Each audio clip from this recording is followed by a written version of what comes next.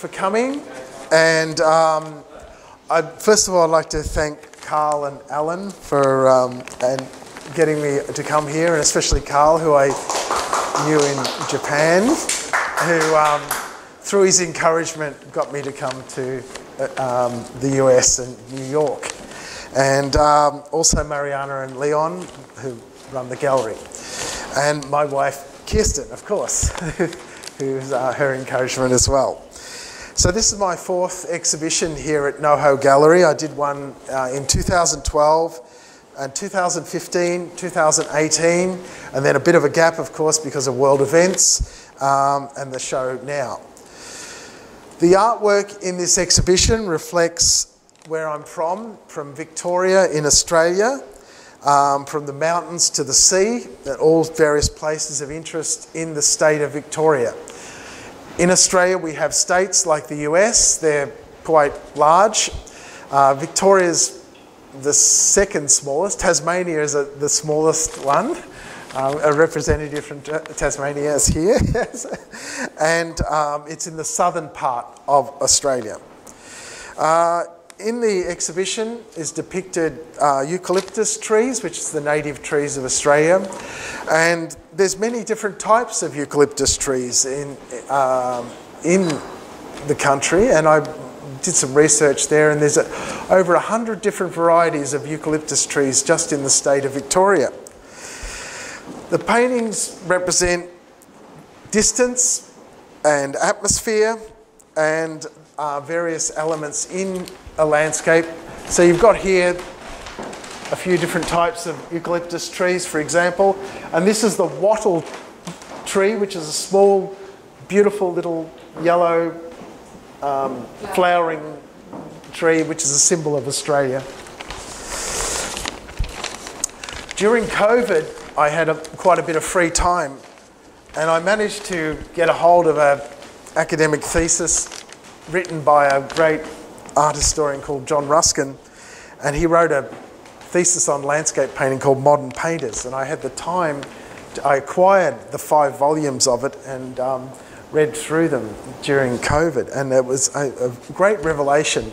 And he was an amazing um, art historian and a friend of the great Turner, who was a famous English landscape painter.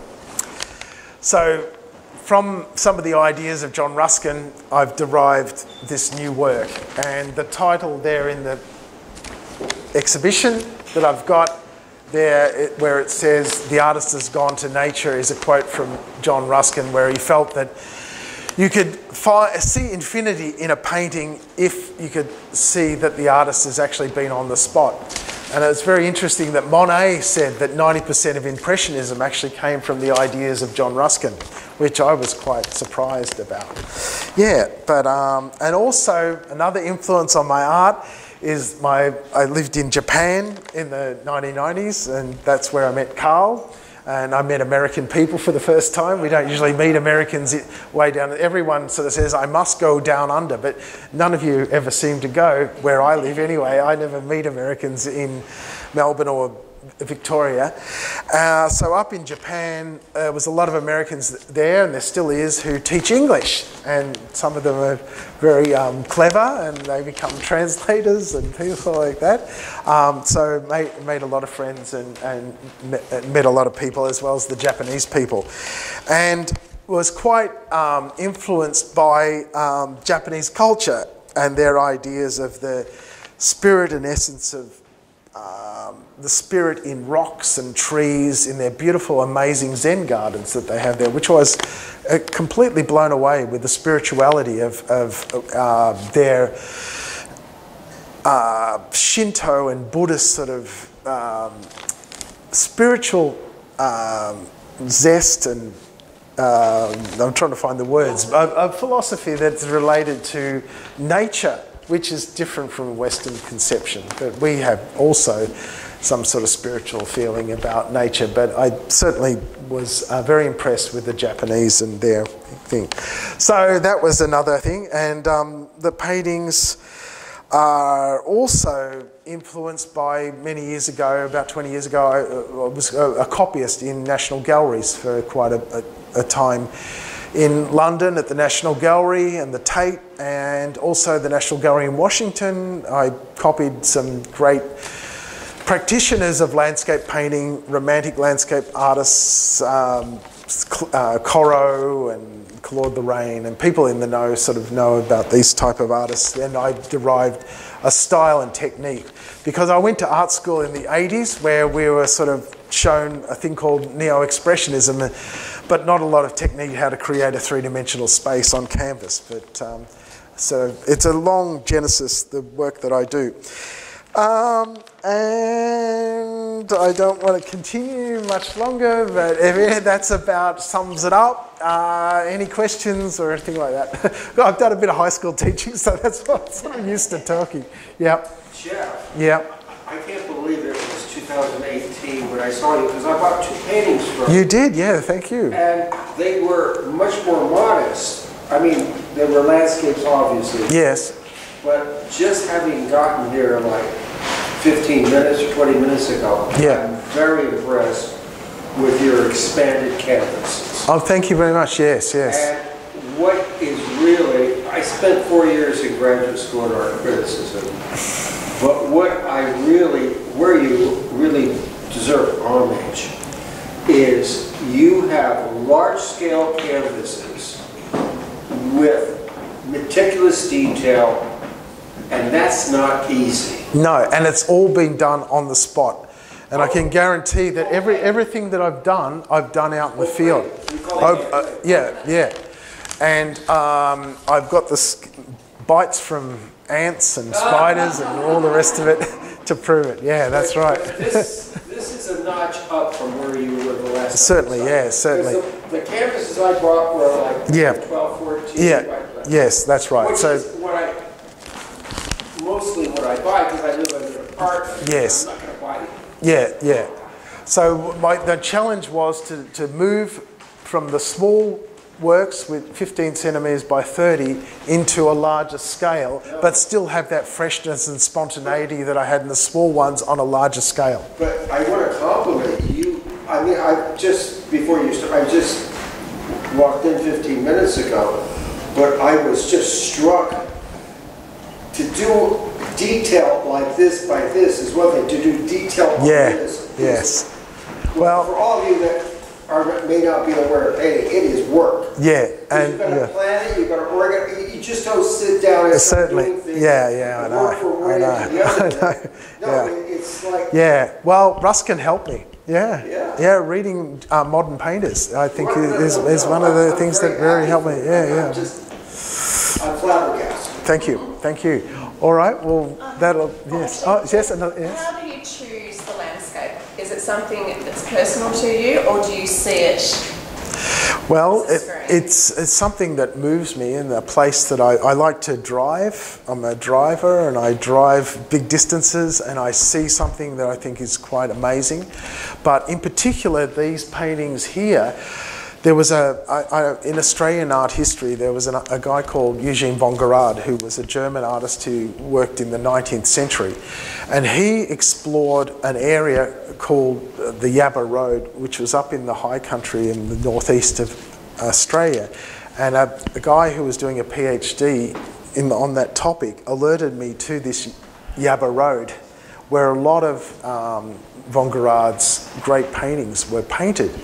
And so I well, we've got modern roads now, so I investigated and drove up into this area, and I've spent time up there, and and found some of the amazing landscapes that that. So it's derived from a romantic vision that originally von Guérard, and he was very similar to the Hudson River School guys that you, uh, Cole and Church and all those characters that the American art history um, reveres. Yeah, in a, in a simple nutshell. Yeah, yeah, that's why. All right, okay. That's enough. thank you. Thank, uh, thank you. Thank you.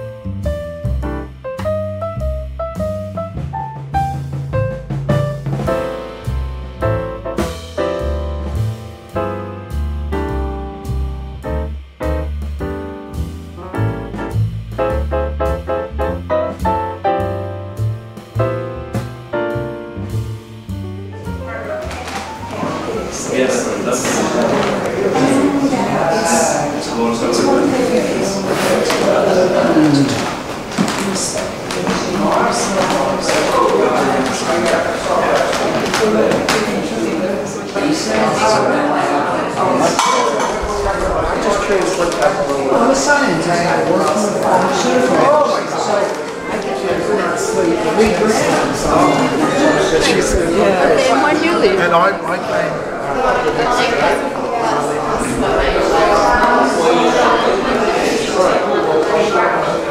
Uh, yeah. Actually, I'll give you my card, and then